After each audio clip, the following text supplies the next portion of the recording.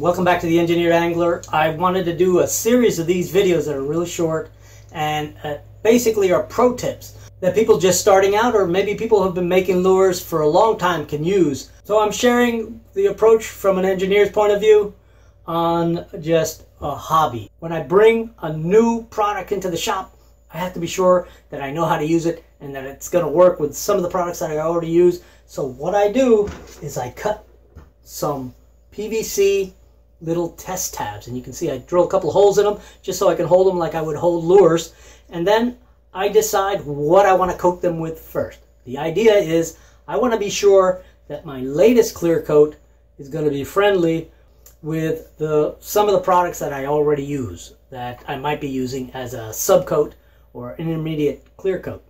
So I'll make these tabs and then I'll, and here's a few already in use here, then I'll take the tab and I'll coat it with one of my other products.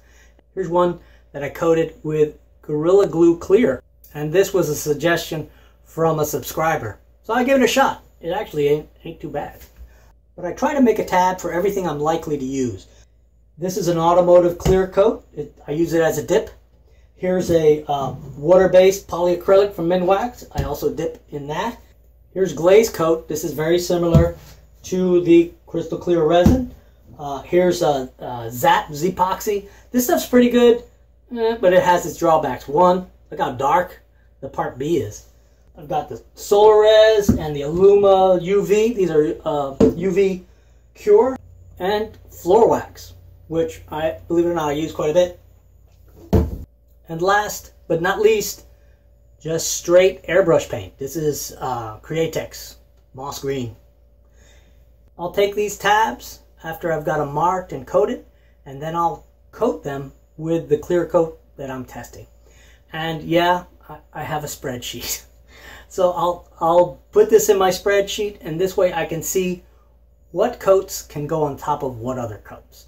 So I essentially have a little makeshift database of what I can use on top of things that I already know I'm going to be using. It's allowed me to find mistakes that I've made combining these different coatings and it allows me to go and find what I need to use so that if I want to use a specific clear coat, I can I know exactly what to use under it.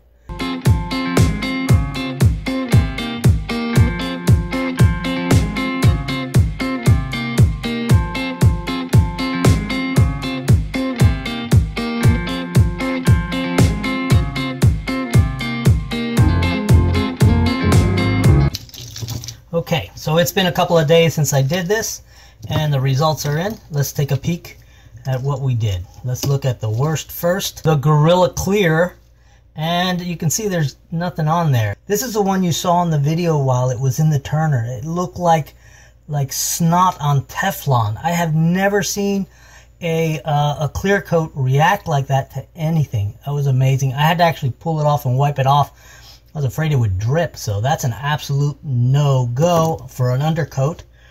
Uh, here we have Createx paint. Um, not good, but I kind of knew that. Uh, in my experience, uh, the Createx paint doesn't seem to be uh, a good undercoat for anything. You need to kind of seal the paint before you clear coat it. This was uh, the auto clear coat. So you can see that the crystal clear resin from uh, East Coast Resins, which is what I'm testing, right, uh, is pretty happy with that uh, automotive lacquer clear coat underneath. So that that's an actual uh, a winner there. This is the polyacrylic. It's that Minwax product uh, that is water soluble, water, water cleanup on that thing. Uh, it did really well. There are some flaws, but I got a feeling those flaws were operator error uh, I think I screwed up and touched it there. But uh, otherwise, it looks real good. It seems to really like going on top of this. So I would also call that a win. This is the uh, floor wax, which I use a lot and uh, almost always works. And the almost is what I'm looking at here. You can see it's very ripply. Um, and I've never seen it do this before. Uh, the, in my experience, Every clear coat I've ever put on top of the floor wax has come out beautiful. So this is a really valuable piece of information for me. And then finally, the uh, the UV clear, um, and it really likes the UV clear too. Very glassy, nice finish. Um, three failures, three wins. So I know now that if I'm going to put an undercoat, a clear undercoat, I need to either use polyacrylic, the uh, uh, automotive lacquer, or the UV clear, which that's probably going to be my uh, preferred choice. So those are the results. So try it. I know it's a little bit much, but it actually pays off in the end and it teaches you a lot. And it really doesn't cost you anything. You already got the products and PVC is cheap. Keep watching, click that subscribe, and I'll catch you on the next video. Thanks.